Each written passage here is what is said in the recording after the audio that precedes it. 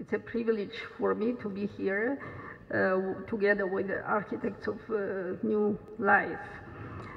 I think uh, that was a brilliant idea um, to have um, youngsters here at the conference as listeners. Usually we uh, listen each other, which is also very important. But anyway, when uh, um, young people listen to us, it means that uh, we are interesting and it's kind of a test. It means it's, it's worthy.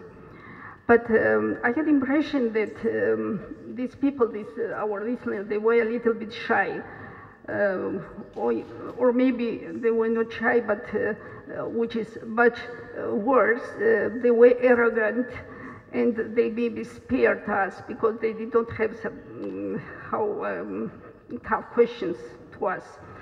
But still, um, uh, proceeding from um, Tolstoy's words, who uh, you quoted that, that uh, each uh, family, unhappy family is unhappy in, their, in its way. Um, I can say that, uh, of course, uh, all these countries who came from the same system, uh, they are um, unhappy in a different way. But at the same time, there are a lot of similarities, of course. And our panel was very interesting. we talked about our failures, our achievements, uh, our transition to uh, market economy, how painful was that, in combating corruption, combating crime and things like that. And uh, of course I talked about my country, which is Georgia, as a success story, of course, but I can say that if not young generation which came to power in 2003, nothing could happen in my country because those people, they were completely different. Of course, they were idealists, idealists, dreamers, but they did uh, something that my generation never could uh, do, um, unfortunately. Uh, why? Because um, these people, they are not afraid of Russia. They are not afraid of Russia. This is very important because everybody knows that key factor in our region is, of course, Russia and uh, they don't tolerate corruption. They don't tolerate unfair elections. They don't tolerate unfair competition in each level. And uh, they don't tolerate, of course, restrictions of media.